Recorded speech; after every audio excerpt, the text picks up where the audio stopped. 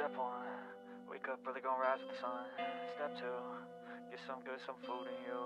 Step three, think real hard about what you wanna be. Step four, f- everybody just do your thing. Wake up, today's gonna be a good day. Wake up, today's gonna be a good day. Wake up, today's gonna be a good day. Wake up, today's gonna be a good Za, zarazem da nam to trochę czasu na rozmowę, tylko we dwie. Możemy nawet ćwiczyć na plaży. W takim razie muszę ją y, już tylko znaleźć. Przypuszczam, że wciąż jest na plaży. Na pewno, mówiła mi, że spędza tam teraz całe dnie. Mila, mogłabyś mnie tam zawieźć? To bardzo daleko, a ja ciągle nie mam prawa jazdy. Witaj w klubie. Jasne, żaden problem. Ruszajmy. Jestem pewna, że Kim ucieszy się na twój widok, nawet jeśli sama twierdzi inaczej. Kiedy dotarłyśmy, Violetta poszła przodem, a ja trzymałam się kilka metrów za nią. Dobła. E, Kim jest dokładnie w tym samym miejscu co wczoraj. Można by nawet pomyśleć, że w ogóle się stamtąd nie ruszała. Spogląda nieobecnym wzrokiem w stronę wody. Nawet nie usłyszała, jak się zbliżamy. Violetta podeszła do niej powoli i nieśmiało skinęła głową. Kiedy podskoczył, Kim podskoczyła, jakby zobaczyła ducha. To prawda, że Violetta ma w sobie coś eterycznego. Wio, co tutaj robisz? Nie spodziewałam się, że tu na ciebie wpadnę. A, no tak, już załapałam. Przeginasz, Mila. Mówiłam ci, że nie chcę nikogo widzieć. Naprawdę myślałeś, że wystarczy mi jeden SMS, albo że ją wypuszczę, zanim powie mi, gdzie jesteś? Bałam się, Kim, tak bardzo się bałam. Nigdy więcej mi tego nie rób, rozumiesz? Ojo, jakie kochane. Ech, Przez krótką chwilę myślałam, że Violetta zaraz się rozpłacze. Nigdy wcześniej takiej nie widziałam. Ale zamiast tego po prostu wzięła przyjaciółkę w ramiona. W pierwszej chwili Kim wykonała jakiś gest sprzeciwu, ale szybko odpuściła. Przepraszam, Violetto, nie, y, to nie było po to, żeby sprawić ci przykrość. Po prostu chciałam być sama. I nie chciałam z, y, zawracać ci głowy swoimi problemami. Jesteś przecież bardzo zajęta malowaniem i tym wszystkim. W porządku, Kim, mogę przecież przestać pracować, kiedy moja najlepsza przyjaciółka mnie potrzebuje, prawda? Pff, właśnie tego chciałam uniknąć. Życie toczy się dalej, no. Oczywiście, ale to nie powód, żeby udawać, że nic się nie stało. Tak mi przykro. A mnie, Wio, co ja mam powiedzieć? Tak bardzo chciałam zaliczyć tego Ironmana. Wytrenowałam sobie ciało jak ze stali. Ale chyba ta stal nie była hartowana. Przepraszam. Ojeju. Cholerna noga, do niczego się teraz nie nadaje. Nie mów tak, Kim. Jesteś warta o wiele więcej niż twoje wyniki. Kim już miała coś odpowiedzieć, ale ostatecznie tylko westchnęła. Odwróciła głowę. Fajnie być tu znów razem. Wracają wspomnienia. Mm, Nie pogarszaj sprawy, Wio, to były inne czasy. Wcale nie, daj spokój. Nie mów tak, ja ciągle wracam myślami do tamtych chwil, ty nie? No, jasne, że tak. Myślisz, że dlaczego przyjechałam akurat tutaj, żeby poszukać trochę spokoju? Kim e, wyglądała na zdenerwowaną, wierciła swoją kulą w piasku. Wiesz, że wiesz to, że spędzam czas z Czani, nie oznacza, że nie myślę o tobie. Słysząc to, Kim posłała mi paskudne spojrzenie. Wszystko na mła. Hej, Mila, co ty ino opowiadałaś? Na kogo ja teraz wychodzę, co? Kim? Ja nie chciałam. Violetta bardzo się martwiła. Zastanawiała się, dlaczego do niej nie zadzwoniłaś. Chyba już ci mówiłam, co? Po prostu nie chciałam przeszkadzać, nic więcej. Och, moja Kim, nie obwiniaj Mili. Uwielbiam malować z czani, to prawda, ale między nami to niczego nie zmienia. Ojoj. Ta, nawet jeśli nie ma o czym mówić, tylko sobie nie myśl, że jestem zazdrosna czy coś. Oczywiście, że jesteś. To nie tak. Bardzo dobrze zrobiła, że mi o tym powiedziała. Nie zdawałam sobie sprawy, że czułaś się odtrącona. Trochę mi głupio wobec Kim. Może faktycznie mieszam się w nie swoje sprawy. Poza tym Kim nie opowiedziała mi wprost, że jest zazdrosna oczami. To była moja interpretacja. W dodatku Mila wpadła na świetny pomysł. Mam dla ciebie misję na ten czas, kiedy będziesz wracać do zdrowia. Pomożesz mi wrócić do formy. Od tak dawno o tym mówiłyśmy. Tak jak powiedziała mi Mila, to, że nie możesz uprawiać sportu, nie znaczy jeszcze, że nie możesz trenować innych. Mila, naprawdę, na, naprawdę tak mówiłaś, Mila? Prawda, że ja sama w tej sytuacji za bardzo się nad tym nie zastanawiałam. Jesteś świetną trenerką, Kim, jeśli chodzi o sport i nie tylko. Muszę przyznać, że całkiem mi się podoba ten pomysł. Tylko czy jesteś pewna, że tego chcesz, Wio? Mm, Dobrze wiesz, że nigdy nie chciałam cię do niczego zmuszać, ale jeśli już coś robimy, to zróbmy to dobrze, no nie? Pomyślałam sobie, że może mogłybyśmy zacząć jakoś stopniowo. Oczywiście przygotuję dla ciebie program, biorąc pod uwagę to, że nigdy nie uprawiałaś sportu. Nie chcemy, żeby tobie też stała się krzywda. Nie potrzebujemy dwóch poszkodowanych. Mogłybyśmy to robić tutaj, jak za starych, dobrych czasów. Hmm, najpierw może trochę ćwiczeń na siłowni. Piesek to wyższa szkoła jazdy. Ktoś tu chyba odzyskuje swoją energię. Dokładnie tego jej było trzeba. Zobaczysz, Wio, nie pożałujesz, zapowiada się genialnie. Zrobię z ciebie prawdziwą mistrzynię. Violeta wygląda na rozpromienioną. Myślę, że jest zachwycona, że będzie mogła znów spędzać czas z kim. A kim będzie mogła uciec od smutnych myśli. Wszystko dobrze się układa. Hej, Mila, chciałam ci powiedzieć, byłam trochę wkurzona, że mnie nie posłuchałaś. Kiedy ci mówiłam, że chcę być sama i w ogóle, ale fajnie, że zrobiłaś po swojemu i przeprowadziłaś Wio. Dziękuję. O, kochana, Boże, jak się zarumieniła. A! Tak się słodko zarumieniła. Nic nie odpowiedziałam. Wyglądała już na wystarczająco zakłopotaną. Po prostu się do niej uśmiechnęłam. Wio, jeśli nie masz nic do roboty, może chciałabyś zostać ze mną trochę na plaży. Wrócimy autobusem. Oczywiście, ale jesteś pewna z twoimi kulami? Czy to cię... czy to cię niepotrzebnie nie zmęczy? Bez obaw, pracują tylko ramiona. To dobrze, to dobrze. Mimo wszystko mogę trochę dbać o kondycję. Ona tak jakby niby stoi w, o tych kulach, ani trochę nie, nie, nie wiem. A to konieczne, jeśli chce kiedyś wrócić do tego, co było. Zgodnie z obietnicą, dwa dni później, zaraz po pracy, ruszamy do Rozy i Leo, żeby zaopiekować się Tiją. Cześć Wam, jesteście dokładnie na czas. Idealnie. Mam tu kogoś, kto nie może się już, doczekać, żeby Was zobaczyć. Pytała mnie nawet, czy moglibyśmy z Leo częściej wyjeżdżać. Na szczęście, na szczęście nie obrażam się zbyt łatwo. o, ciocia, w końcu jesteś, mam pełne zabawek, żołnierzyki, zgadnij kto to. Dzieci grają jeszcze w zgadnij kto to, naprawdę? Żartujesz? Ona zna wszystkie postaci na pamięć. Od jakichś trzech miesięcy cały czas wygrywa. Jestem pewna, że będziemy się świetnie bawić. Co, Tio? Okej, okay, ja zaraz lecę. Tio, bądź grzeczna i słuchaj Mili i Nata, dobrze? Jak nie, to nie będą chcieli więcej do nas przyjechać i się tobą zajmować. Ja zawsze jestem grzeczna, mamusiu. to prawda? Ostrzegam, mam w samochodzie wykrywacz kłamstw. Weź nie straż dziecka, kubku. o ja pierdzielę. Ja nie wiem, czy to jest pedagogiczne mówić tak do dzieci. No tak, nie wierzysz? Oczywiście, że to prawda. Najgorsze jest to, że ona tak bardzo w to wierzy, że pewnie bez problemu przeszłaby przez taki test na wykrywaczu. Ojeju! Kochani, kolacja jest w pojemniku w lodówce, trzeba tylko podgrzać. Dziś piątek, więc może iść spać o 20.30 i maksymalnie dwie bajki. Nie powinno być z tym problemu, a gdyby cokolwiek się działo, będzie miała przy sobie... Będę miała, nie będzie miała. Będę miała przy sobie telefon. Uciekaj już, ciesz się romantycznym wypadem we dwoje dam radę. Buziak, mamusiu, chcę buziaka. A, czyli mimo wszystko jeszcze tak do końca nie zapomniałaś o mamie. Baw się dobrze, moje kochanie. Wracamy jutro. Roza pojechała, a nam zeszła dobra godzina na zabawie Tią. Najpierw było budowanie zamku z klocków który potem został zburzony przez atak plastikowych żołnierzyków. Przyszła też pora na zapowiadaną miażdżącą porażkę w Zgadnij kto to. W końcu czas na kąpiel. Zabrałam swój strój kąpielowy, gdybym tylko... Zabrałabym swój strój kąpielowy, gdybym tylko wiedziała. Zobacz, ciociu, jestem delfinem. Uwaga, nurkuję, bo czeka słodka pod wodę. Pla... Co się stanęło? Oblała mnie?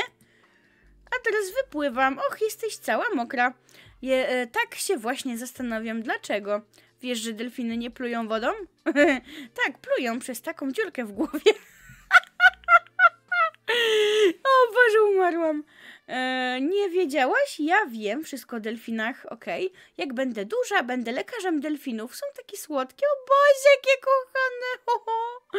Dobry pomysł. Jeśli chcesz być duża, musisz dobrze jeść. Jesteś gotowa? Idziemy na kolację.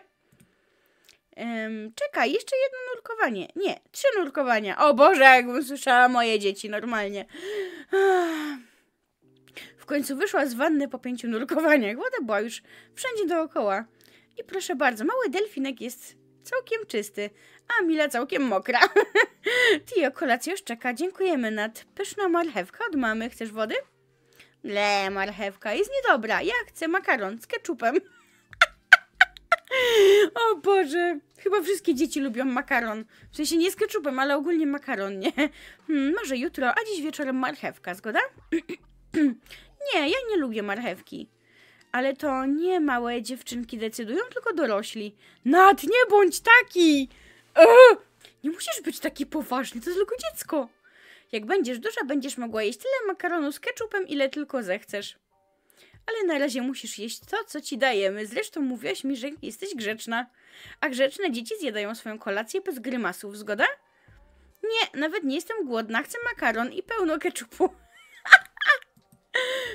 Tio, bo się zdenerwuje. Boże święty, no.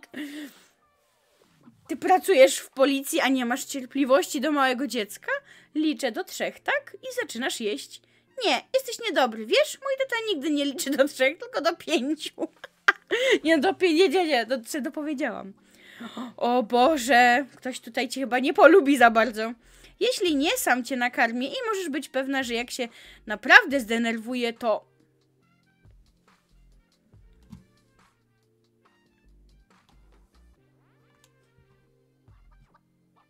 No ja to bym na, na miejscu tej tej małej tam spieprzała do piwnicy. Bym się bała, że on mi krzywdę zrobi. Nat, spokojniej! Ja pierdzielę! Co za nerwus! Nie, on naprawdę nie powinien mieć dzieci. Oni nie powinni mieć dzieci. Nat, zaraz ją przestraszysz. To tylko dziecko. Nie miałeś nigdy trzech lat. On tego nie pamięta, jak miał trzy lata. Owszem, i wcale nie było tak, żebym miał coś wtedy do powiedzenia w sprawie menu. Jestem już duża, a ty jesteś niedobry. tak jakbym słyszała moje dzieci normalnie. Jak ja się młodszemu na coś nie zgadzam, to on idzie, obraża się, pod kołdrę wchodzi i płacze, bo nikt go w domu nie kocha. nikt go w domu nie kocha, mama go nie kocha, to nie. Masakra. A wiesz, dlaczego on jest niedobry Tio? To dlatego, że nie jadł nigdy marchewki, jak był mały. Naprawdę? Nie jadłeś nigdy marchiw, marche, marchiwki. Marchewki? To musiało być super. Ręce mu opadły. no niestety, no takie są dzieci, im trzeba po prostu tłumaczyć, no dzieci same z siebie nie będą wiedziały, tak? No trzeba dzieciom tłumaczyć, tłumaczyć, tłumaczyć. No, takie jest życie. Ale ty nie chcesz być niedobra, prawda? Tio, to też jakaś psychologiczna zagrywka i nie podoba mi się. Ty jesteś grzeczną dziewczynką. I nie, nie podoba mi się też podejście grzeczna dziewczynka, grzeczny chłopiec, ble, ble, ble. Nie, nie. Yy, tak, ale mówisz prawdę o marchewce? Będziemy niedobrzy, jak nie zjemy marchewki? Tak, to prawda. Założę się, że twoi rodzice często ci ją dają. Tak, ale nigdy nie chcę jeść, bo marchewka jest obrzydliwa. A widzisz, oni to robią dla ciebie, bo cię kochają i nie chcą, żebyś się stała niedobra, jak na przykład ja. dobre, dobre szczam. Moi rodzice nigdy mi nie dawali marchewki. Nie chcesz być taka jak ja, prawda? O Boże, on gra tego złego policjanta teraz? O nie, ja, ja poproszę troszeczkę marchewki, ale tylko troszeczkę. no, 10 łyżeczek i możemy przestać. Zgoda? Zrób mi tę przyjemność. Ostatecznie wszystko zjadła, Nat patrzył na nią srogim wzrokiem, kiedy tylko zaczynała się wahać. Zadziałało świetnie. No, tylko, że Tia jest chyba na tyle już duża, bo skoro ona rozmawia pełnymi zdaniami z nimi, no to jest w stanie stwierdzić, co jej smakuje, co nie. Po co dawać dziecku coś, czego nie lubi yy, i wmu wmuszać to w nie, po to, żeby potem miał traumę i nie chciało potem jeść, nie wiem. Nie, nie rozumiem w ogóle zmuszania do jedzenia. To potem się kończy bardzo ym, źle zaburzeniami odżywiania w przyszłym życiu. Już wszystko skończyłam, nie będę niedobra. Idziemy się bawić? Chcę się bawić w kowbojów. Poczekaj, przyniosę mój kapelusz i gwiazdę szeryfa. Jest ona kochana. Wróciła z prędkością błyskawicy, już przebrana. Wiesz, że Nat jest trochę jakby szeryfem? On też ma swoją odznakę w specjalnym etui, bo on jest policjantem. Naprawdę, Nat? Ale to nie jesteś naprawdę niedobry, tak? Tylko udawałem. W rzeczywistości ja też jadłem mnóstwo marchewki, ale dziś to tajemnica. Czasami udaję, że jestem złym facetem, ale tylko po to, żeby oszukać bandytów i ich złapać. Jest to fajne. Wow, super to robisz. Myślałam, że jesteś bardzo zły. Wow, ale ja nie jestem bandytą. Kiedy nie, chcę, kiedy nie chciałaś jeść marchewki, miałem wątpliwości, ale teraz wiem, że jesteś po dobrej stronie mocy. Ja pierdzielę. No to wsiodło no to w siodło kowboju, przygotuj swoje lasso, złapiemy razem kilku prawdziwych bandytów. Nie jestem pewna, czy Nat właśnie tak to sobie wyobrażał, kiedy mała mówiła o zabawie w kowbojów. O! o Boże, zostałeś jej kuniem. wierzchowcem normalnie. A słodka ilustracja, naprawdę słodka.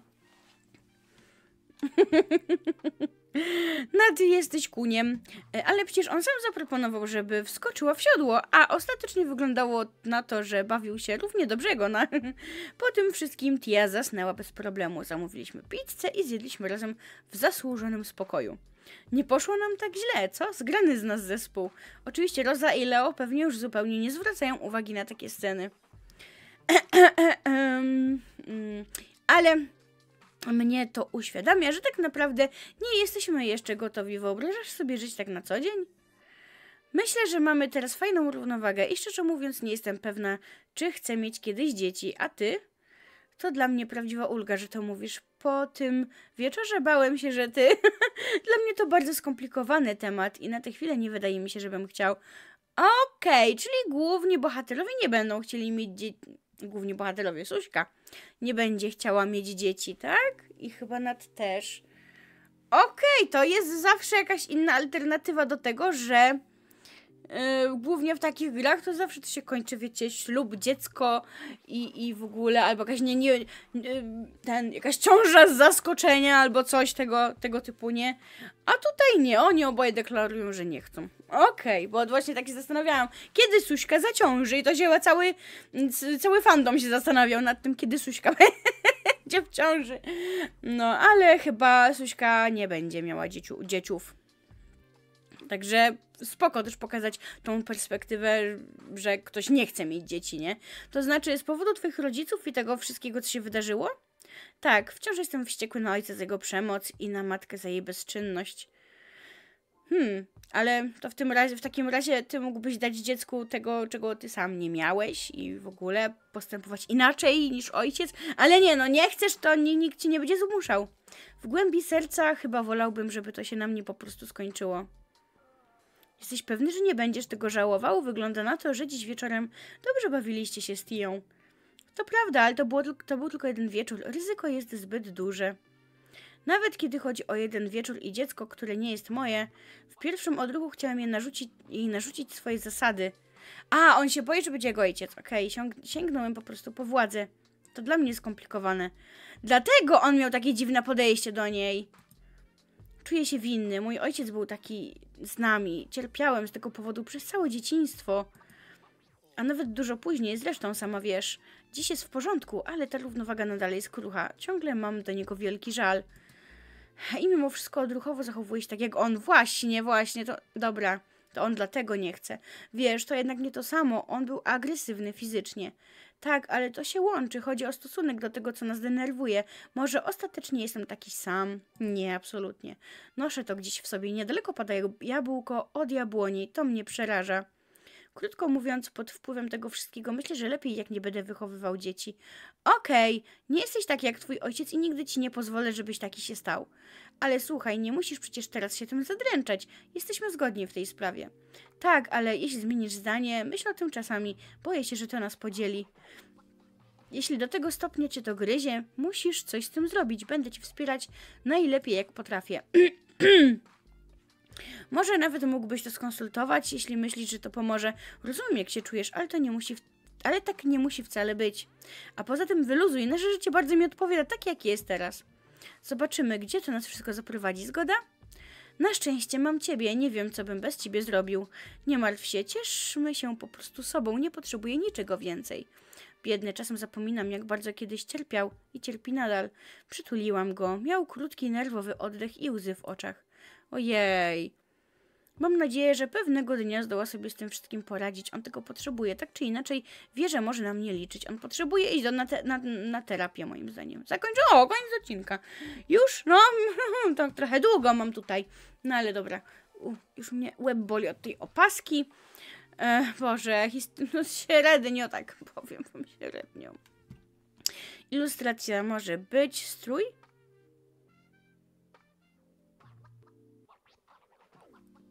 Ja tu miałam jakiś strój? Jezu, ja nie pamiętam, czy był strój w tym odcinku. Mało tych momentów z filtrem! Kuźwa, dajcie ich więcej, chamy jedne. No. Dobra, także zakończyliśmy sobie odcinek ósmy w końcu. Boże święty, te odcinki są takie długie. Takie długie, normalnie nie wierzę. Ale to już jest odcinek ósmy. No, jesteśmy praktycznie w połowie historii Love Life. Bo niestety, jak wiecie, Love Life ma 17 odcinków. No. Mniej niż liceum, mniej niż y, ten, mm, niż uniwersytet, ale chyba długością nadrabia. No, muszę wam powiedzieć, że bardzo ciekawa jest ta perspektywa Nataniela, jeżeli chodzi o dzieci. Mm, ja rozumiem całkowicie, że on nie chce ich mieć e, ze względu na to, że boi się, że będzie traktował to dziecko jak ojciec go traktował. Ale wydaje mi się, że po przepracowaniu pewnych rzeczy wcale nie musiałby taki być. Em, Oczywiście nikt go nie będzie zmuszał. Ja absolutnie nie jestem za tym, żeby kogoś zmuszać do posiadania dzieci, bo nie każdy musi mieć te dzieci. To nie jest jakiś kuźwa obowiązek. No i tak, no jedynie co może, no, jedynie co może pomóc, to właśnie dla niego e, terapia. Jeżeli po terapii nawet nie będzie dalej chciał mieć dzieci, to jest jak najbardziej w porządku. E, I będzie taka sytuacja, że Suś, Suśka będzie chciała, a on nie będzie chciał. To w tym momencie jedynie zostanie Suśce to zaakceptować jeżeli będzie chciała z nim być, ewentualnie potem szukać sobie kogoś innego, kto też będzie miał e, takie wartości, że będzie chciał mieć dzieci. I tyle ode mnie po prostu. Już koniec, bo muszę od, dać odpocząć mojej głowie, bo już boli mnie od tej opaski, dobra? o Boże, nadzieję, że odcinek Wam się podobał. Jeżeli tak, to zachęcam Was do zostawienia łapek w górę, komentarzy i subskrypcji, jeśli tego jeszcze nie robicie, bo to mega wspiera kanał, bardzo dobrze robi na zasięgi. Zapraszam Was na mojego Discorda, TikToka, Instagrama, linki macie w opisie. To tyle ode mnie, trzymajcie ciepło, do następnego odcinka, papa. Pa.